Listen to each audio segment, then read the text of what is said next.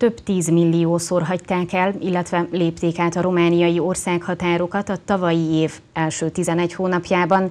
Ez derül ki az Országos Statisztikai Intézet legfrissebb jelentéséből. A részletekről Vasgál Lórend számol be. Nagyon pörgött a turizmus tavaly Romániában. A statisztikai hivatal jelentése szerint a tavalyi év első 11 hónapjában 24%-kal több külföldre utazó román állampolgárt jegyeztek, mint 2016 azonos időszakában. Konkrét számokban 18 millió 600 ezer külföldre való utazást regisztráltak. Ez csak nem annyi, mint az ország teljes lakossága. A legtöbben, azaz 70%-uk személygépkocsival hagyta el az országot, de autóbusszal és repülőgéppel is utaztak a hazaiak.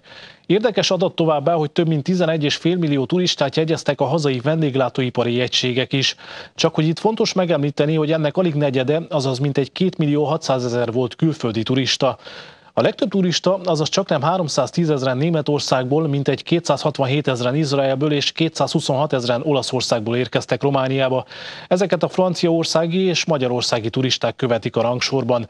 De nézzük meg azt is, mennyi időt töltöttek el a turisták a vendéglátóipari egységekben. A vendégészakák száma meghaladta a 25 millió 300 ezret, ami 6%-os növekedés jelent az előző év hasonló időszakához képest. A romániai turisták átlagban két napot és 8 órát töltöttek el, a külföldiek közel két napot.